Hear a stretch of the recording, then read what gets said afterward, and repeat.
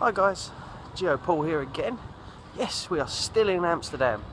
I think these videos are coming out and we'd be well past being in Amsterdam. We've probably been back a couple of weeks as these videos come out. But we're after a very heavily favoured uh, geocache here in this beautiful little street. Lovely little street, quiet. We're away from the touristy type things now. We're in the proper like Dutch streets, back streets of Amsterdam. And this is a heavily favoured cache, so let's see.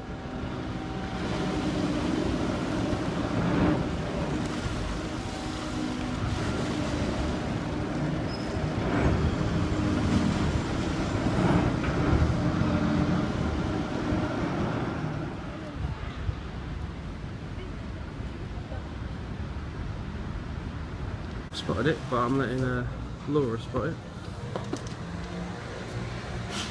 I think it looks Yeah. I'm guessing it is. Let's have a look. Can we look up?